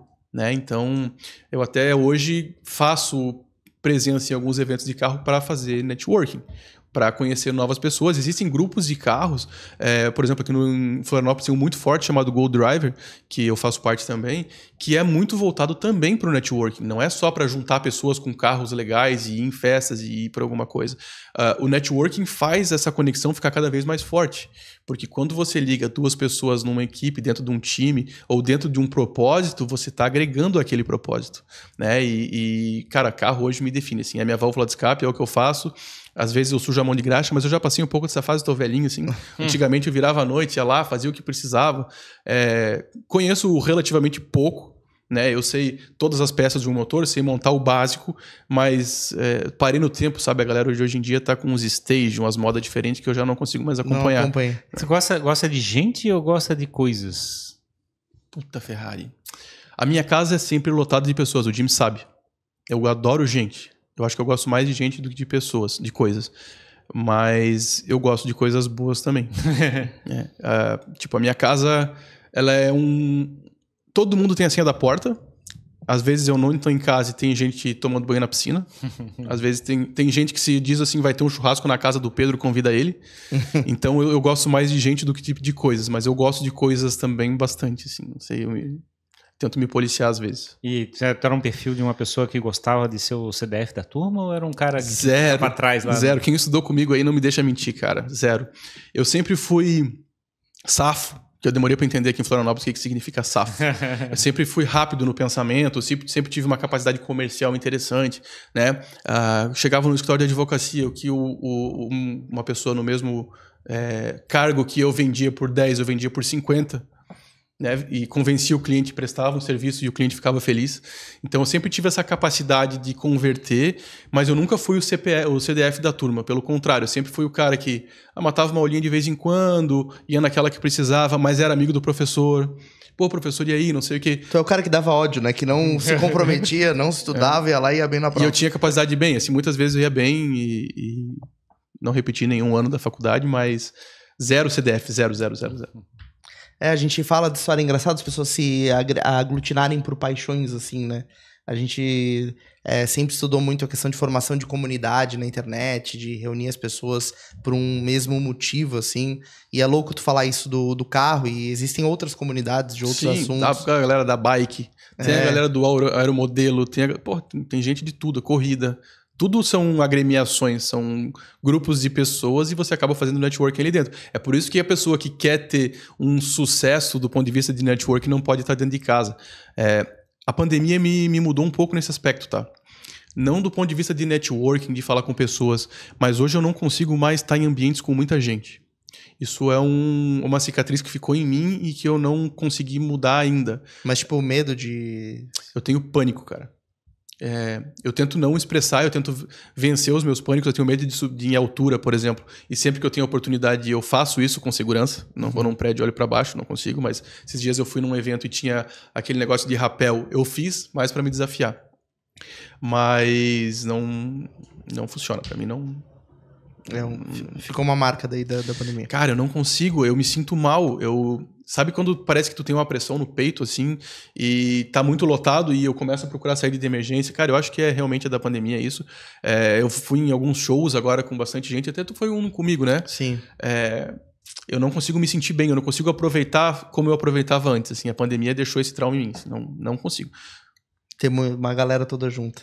Mas é isso aí, dá pra juntar gente pela internet, é uma forma mais, mais de boa de fazer. Ah, mas networking é não dá pra ser bebendo leite, Jimmy, não dá pra não ser muito ser. pela internet. Tem que Se ser, tiver né? um vinhozinho, uma cervejinha junto, o networking acelera, potencializa, tá? Legal.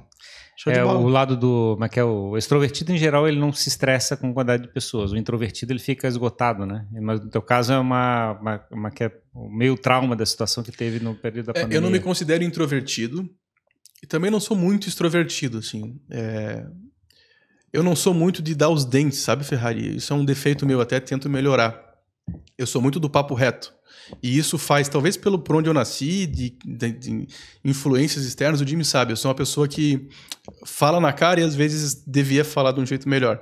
Até no trabalho, assim, eu tento me policiar nisso. Até pedindo desculpa para todo mundo que trabalha comigo, mas eu tento ser legal. Não, eu sou legal. Eu sou legal. É, só que às vezes eu, eu tenho um jeito meio curto de dizer. Às vezes eu sou, como dizem lá em São Paulo, pelo duro. poucas ideias, meu. É, pelo duro, assim. Eu... E as pessoas que são lá da minha região eu vejo que são iguais. Então talvez eu esteja deslocado da região, mas não falando que as pessoas da minha região são mal educadas. Mas a gente tem um jeito mais direto de se tratar. E e isso eu, talvez é, é uma coisa que eu preciso melhorar, assim, do, do ponto de vista até da, do trato pessoal, de pessoa e tal. A gente tem que olhar para dentro para tentar melhorar. É a mesma coisa que o da adequação LGPD, tu tem que ir de Sim. fora para dentro, né? E, e, a gente está sempre tentando melhorar, ninguém é perfeito, mas estamos buscando a perfeição. E eu, eu, achei interessante a história que você contou de negociar com teu pai. É, a gente, muitas vezes a gente já tomou decisão e passa meses pensando, não é a hora, não é o momento, não é o é postergando. É, engraçado, é engraçado como o coração já sabe, só que o racional fica fabricando argumentações para não deixar fazer a mudança acontecer, né? Essa é. é... A gente fica criando justificativas, talvez, para não tomar decisão. É, uh, mas gente, é... gente que é impulsiva consegue fazer decisões imediatas, né? Tipo, meu coração diz isso, eu faço isso.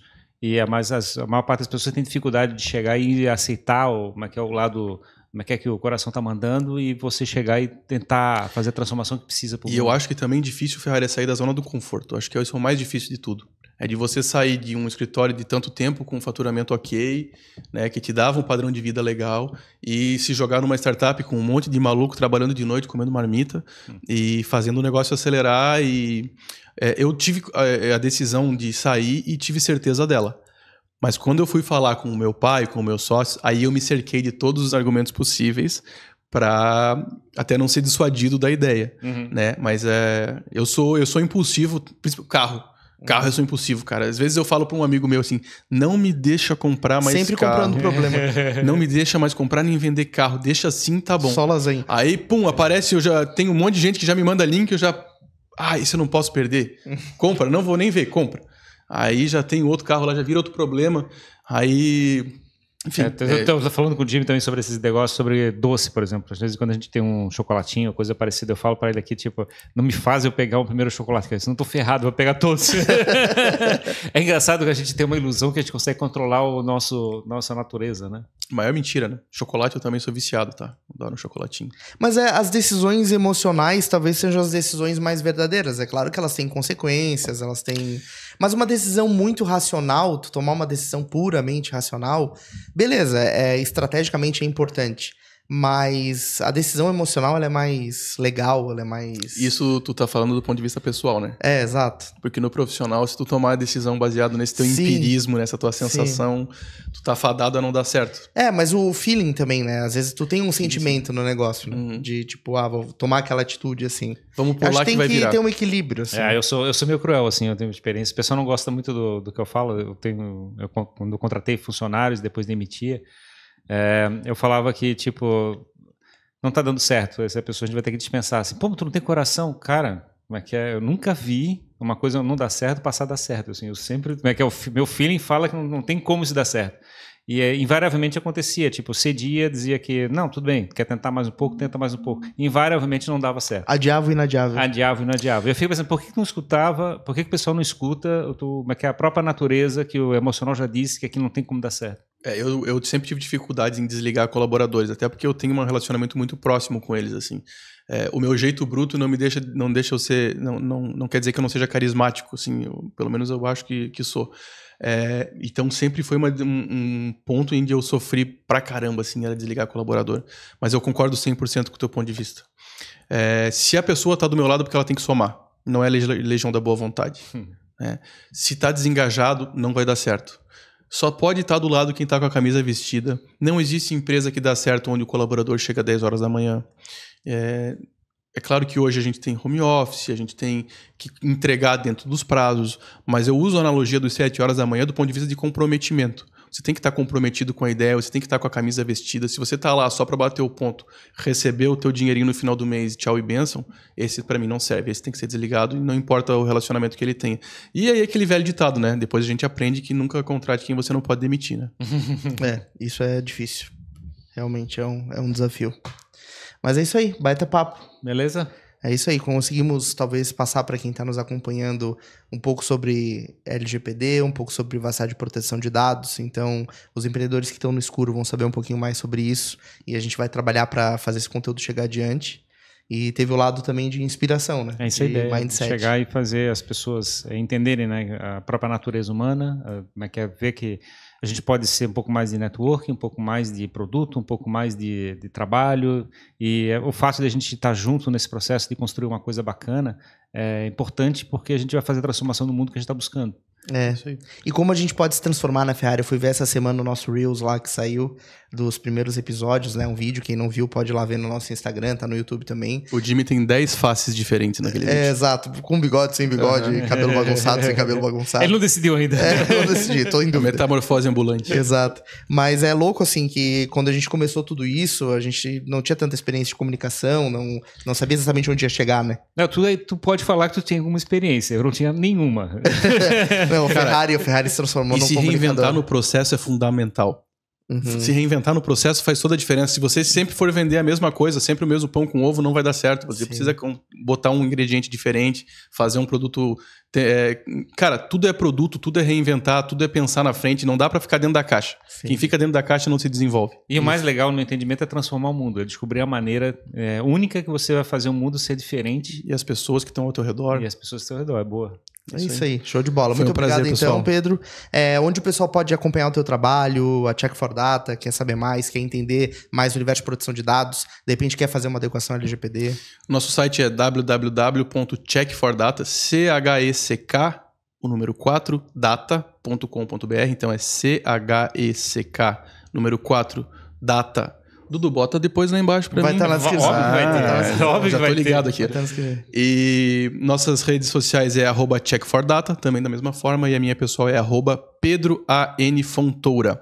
É, dentro das redes sociais, principalmente da Check for Data, a gente posta bastante material é, atualizado, não só com relação ao LGPD, mas dicas de dispositivos, de tudo que faz parte. Então, é, quem quiser nos segue ali, vai ser um prazer conversar com todo mundo. Qualquer dúvida também pode fazer contato com a gente ali, seja pelo site, seja por e-mail. Nosso e-mail está no site também, vamos conversar. Então, você que quer vender um carro ou comprar uma adequação LGPD, procure o Pedro. carro, carro não estamos aceitando no momento.